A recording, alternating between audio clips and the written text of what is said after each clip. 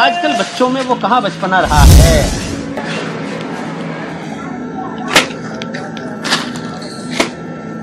एक बात बता, ये जो इतने आतंकवादी पकड़े जाते हैं, इनमें सबसे ज़्यादा कौन होता है? यही मुसलमान।